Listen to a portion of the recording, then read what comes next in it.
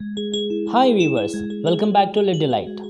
This video is going to give you some tips to speak English fluently.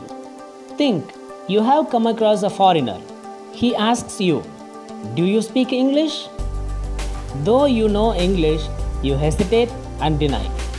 So, what stops you, dear viewer? Probably it would be your shyness or you are not confident enough to make it. Don't be worried.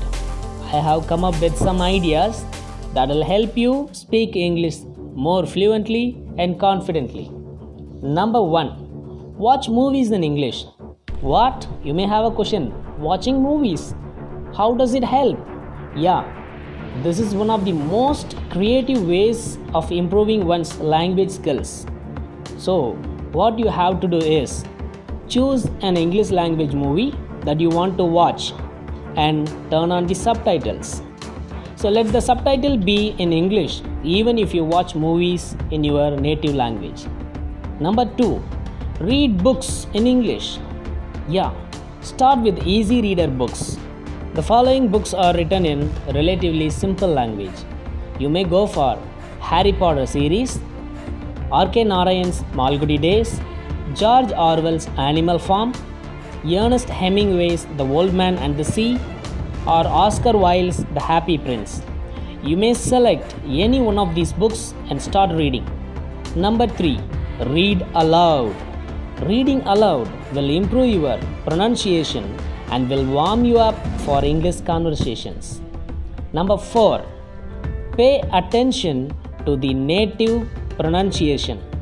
This could happen when you watch movies, news, or reality shows in English. And number 5. Make mistakes.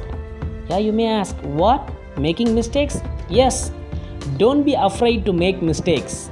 Be confident. The listener will correct mistakes when they hear you said them. So, throw your hesitation and speak with mistakes. Number 6. Create an English speaking environment. Put yourself in an English speaking environment.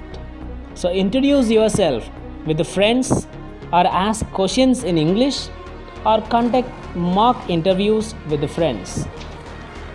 Number 7. Use English wherever you can. So, it is as simple as that.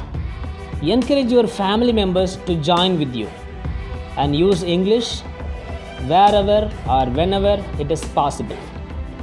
Number 8. Record your voice. You see, no one likes to hear one's own voice, but be courageous and try it. Record your voice of reading some passages and listen to your pronunciation and intonation. It will help you to identify your problem areas.